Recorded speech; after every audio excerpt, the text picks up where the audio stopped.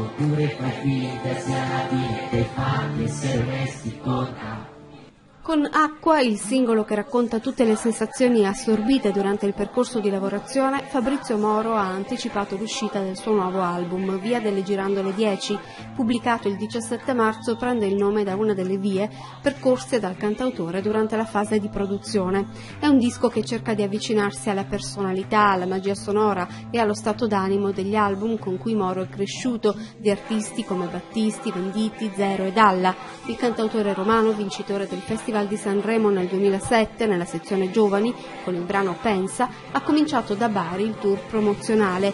Ieri sera Fabrizio Moro ha incontrato i fan nella libreria Feltrinelli di Bari. Nonostante fosse febbricitante non si è sottratto al bagno di folla firmando i CD ed esibendosi in una piccola performance acustica nella quale ha eseguito alcuni brani di questo suo ottavo album.